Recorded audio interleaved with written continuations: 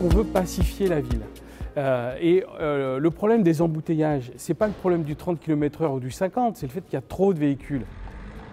Globalement, quand on est en centre-ville, on a une moyenne qui tourne autour de 20 km/h, donc on est très en dessous du 30 hein, en fonction des feux, etc. Donc je pense qu'il faut se tranquilliser. Ça donne lieu à beaucoup de fantasmes, à beaucoup d'imagination. on fera le point dans un moment et vous verrez que les choses se seront apaisées.